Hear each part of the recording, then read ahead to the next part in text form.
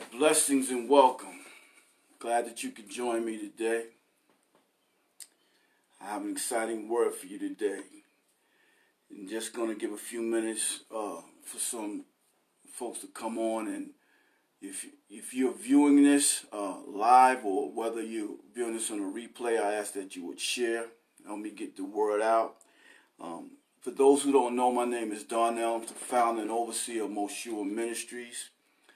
Um, check us out on Facebook. We also have a YouTube page that's DB Moshua. On that page, uh, we pretty much um, do a lot of music as well as word. Uh, I would ask that you check that out if, if, if you would you know if you would like to learn how to play as well as uh, some words. I see you, Omega. Thanks for watching. Um, and so I started a series concerning getting back on track. And what it is is that we've entered into the sixth month of the year, and and during this time, it's a it's a good time that we begin to examine ourselves, examine where we at and what course we're on. Uh, because of you know, as we entered into the beginning of the year, we entered it into it with with hopes, with goals, with dreams, with direction, believing that we was going to have new life and new things and new blessings. And and sometimes um we may have missed it, we may have not gotten off course, and we may not have we may not be at the place where we think we should be. And so I'm going to be sharing several keys so that we can get back on track. You know, because there's some things that I was able to accomplish uh, in the first six months of this year or first five months. And as we enter the second half, there's still some things that, uh, you know, I may not be seeing the fruitfulness in it or I may be struggling or may not think I'm where I should be in those things. And, and so uh, we just want to do a spiritual checkup, right?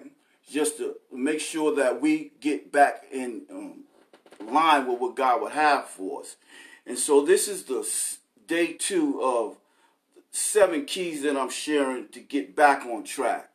All right, so these are in the first uh, series, in the first uh, lesson, we looked at recommitting that is recommitting to seeking him. So the first thing that we looked at, uh, and if you didn't see that, you can go back and look um, um, look on the page. Uh, I'm gonna leave that up.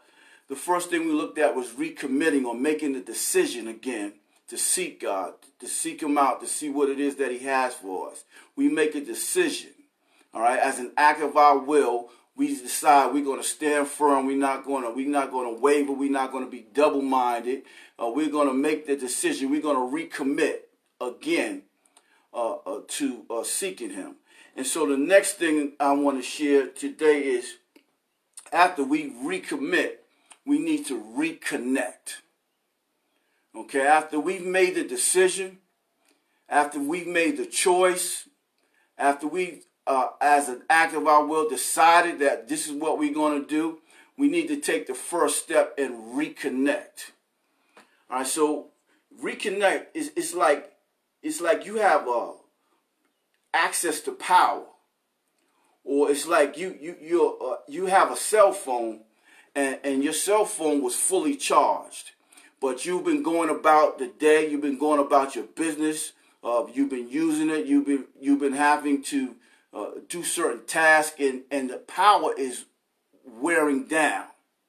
And if you get to a certain point, if you don't recharge, if you don't reconnect, if you don't replug in, if you don't get connected back to the source, eventually the, you're going to power down. And so it's just like that in the spirit. As we as believers, we need to reconnect. We need to recharge. We need to refuel. We need to get reignited. We need to uh, uh, reconnect to the power source and so that we can run on full and not power down. Not powered down on our walk. Not powered down on our belief system. Not powered down in our direction. Not powered down in our course. Not powered down in our goal, but we can be fully charged and ready uh, for what comes our way. And so there's several ways that we can reconnect, okay? And I'm just going to share, share a, I'm not going to keep you long. I'm just going to share some ways that we can reconnect, all right? One of the one of the ways that we can reconnect is reconnect through prayer. Reconnect through prayer. And so Jesus got up early and he, he and went to solitude places and he prayed. He prayed alone. And so what was he doing? He was reconnecting with the Father. All right? He was getting away from everyone, getting away from his ministry, getting away from his disciples, getting away from his family, getting away from the multitude, getting away from the crowd, and he was going and connecting, reconnecting with the Father through prayer, recharging his soul, recharging his spirit, allowing the Father and the connection with him to, to, to put him in a place where he was ready to go and fulfill the assignment that was on him, that where he was ready to go and do the thing that he was placed on the earth to do. And so this was necessary, and he did this often. And so we need to take that as an example. We need to often go and reconnect.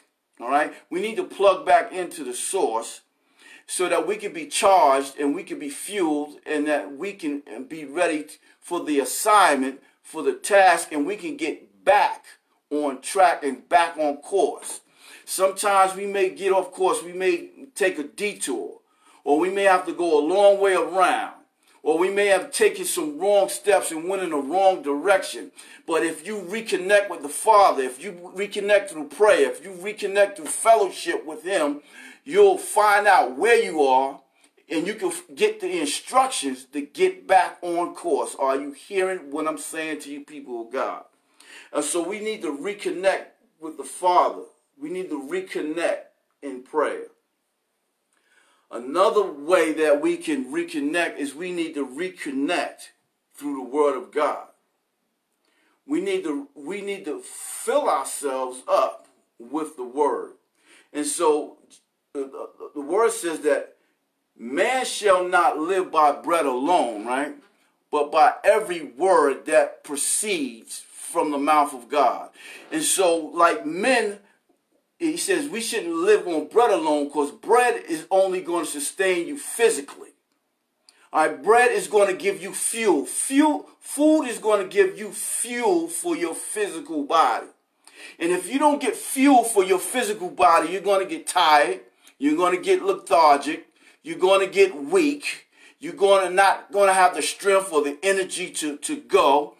And so just like you need food, just like you need bread for your physical body, he says that you shouldn't live on that alone, but you shall live by every word that proceeds from the mouth of God. And so the word that proceeds from the mouth of God is fuel for your spirit fuel for your soul. It's fuel for your destiny, fuel for your course. It's, it will reignite you. It will recharge you.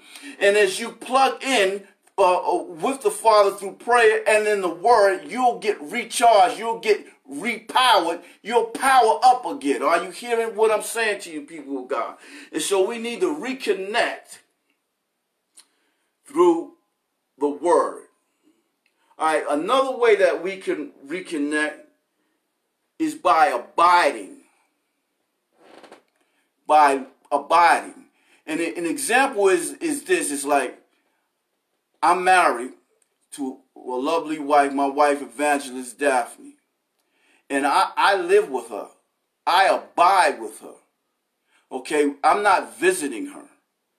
Uh, I spend life with her. I live life with her day in and day out. And so I need to make sure that it, so there's a difference. There's a big difference between abiding with someone and just dating with someone.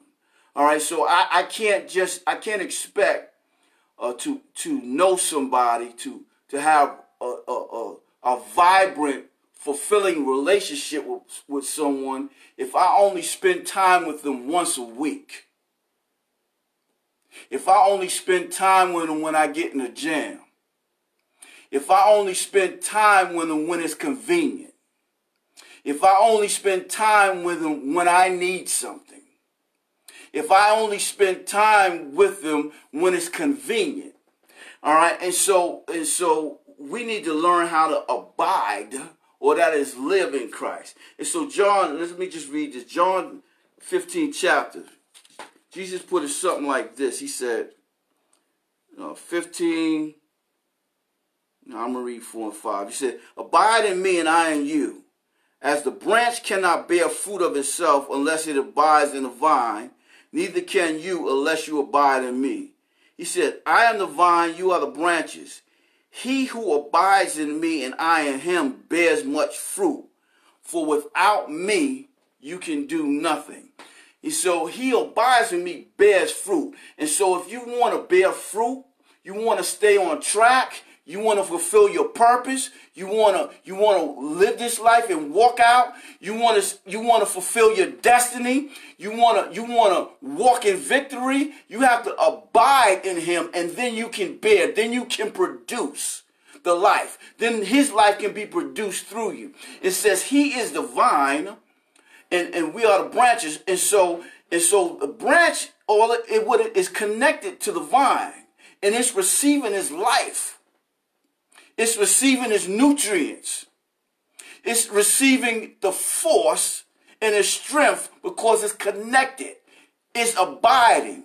And it's not just visiting, it's not coming and going, it's continuously connected. And as a result of that, it can bear fruit, it can produce, it can, it, it can be, it can multiply and be fruitful. Are you hearing what I'm saying to you, people of God? And so Jesus goes on to say, without me, you can do nothing. That you can do nothing of lasting value. You can do nothing that will uh, uh, be beneficial. You can't do or fulfill your goals and your purpose and the plan that he's ordained for you if you're not connected to him. And so we have to make sure that we are connected and, and, and that we are abiding in him, living in him, and we're not just dating him. All right, so we're not just dating him, that we're spending time with him day in and day out. And so those are several things we need to do uh, to make sure that we reconnect. All right, and so just to just to uh, just to give a quick recap, we need to to get back on track, to get back on course, we need to reconnect with God through prayer. We need to reconnect through the word. And we need to reconnect by abiding in him. And so, Father, in Jesus' name, right now, I just pray for your people, oh God. I pray, oh God, that as as as I share and as I release these seven things that you're giving me to get back on track, to get back on course, where your people can get back uh, and, and get going for the rest of this year, for the second half, I just declare right now in Jesus' name that you are giving them second half strategies, that you are giving them second half anointings, that you are giving them second half instructions, that you are giving them second half power, and that you are giving them second half ability to get the job done. And Father, I pray that they we would get back on track, oh God that we will recommit to you, that we will reconnect to you, and that we will walk this thing out in the name of Jesus Christ. So, Father, we give you thanks and we receive this by faith in Jesus' name. Those that agree say amen. And so, listen, I'm going to share with seven keys that God gave me. So, we did the first two that was recommit and reconnect. I'll be coming on later this week, probably Thursday. Um, unless the Lord leads me to do it tomorrow to share the next key. So what I ask that if you're viewing this, that you would share this. If it if it helped you at all, turn your notifications. If if if this is something that you think you, you can be blessed by, uh, um, don't forget to subscribe. Uh, check out the YouTube channel too. The YouTube is DB Moshua. The, uh, the Facebook ministry page is Moshua Ministries. So I'll be back with you again later uh, this week to share the rest of the keys to get on track and to walk this thing out and be successful. Blessings. I see you, James.